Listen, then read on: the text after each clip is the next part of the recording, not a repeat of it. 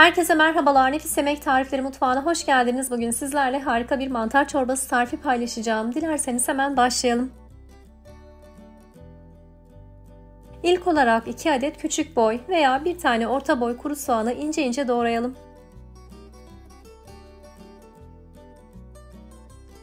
On adet kültür mantarını da çok küçük olmayacak şekilde doğrayalım.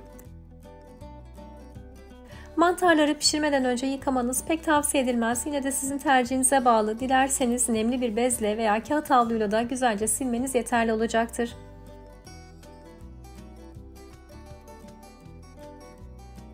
Tencereye 4 yemek kaşığı sıvı yağ ve 1 yemek kaşığı tereyağını alarak eritelim. Eriyen tereyağına doğradığımız soğanları ilave edip soğanlar hafif pembeleşinceye kadar kavuralım.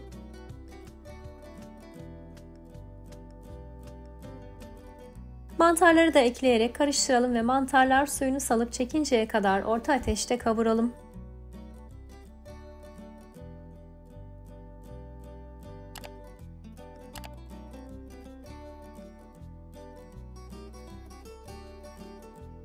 Daha sonra çorbaya kıvam verecek olan 2 yemek kaşığı dolusu unu ekleyelim ve unun kokusu çıkıncaya kadar kısık ateşte kavurmaya devam edelim.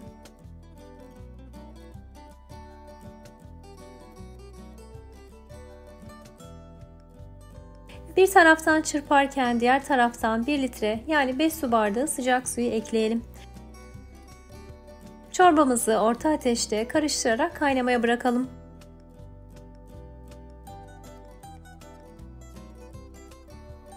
Kaynayan çorbanın altını kısarak oda sıcaklığındaki bir su bardağı sütü ve yarım çay kaşığı karabiberi ilave edelim. Tekrar karıştırarak kaynamaya bırakalım. Burada eklemek istiyorum çorbanın kesilmemesi için sütün oda sıcaklığında olmasına mutlaka dikkat edelim.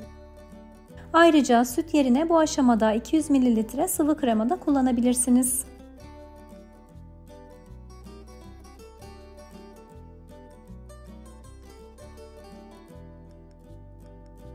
Son olarak bir silme tatlı kaşığı tuzu da ekleyerek güzelce karıştırdıktan sonra çorbayı ocaktan alalım. Seviyorsanız çorbanıza bu aşamada ince kıyılmış dereotu ve maydanoz da ekleyebilirsiniz.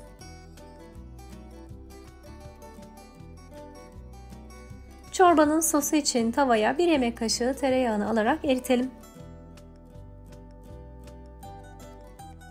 Eriyen tereyağına 1 tatlı kaşığı kırmızı toz biberi ekleyerek kızdıralım. Bu aşamada ocağı çok yüksek ateşte açarak biberleri yakmamaya dikkat edelim. Mantar çorbasını kaselere paylaştıralım ve üzerlerine hazırladığımız sosu gezdirerek servis edelim. Çorbanın sosunu kaselere paylaştırmak yerine dilerseniz tencerede ilave edebilirsiniz. Tercih sizin.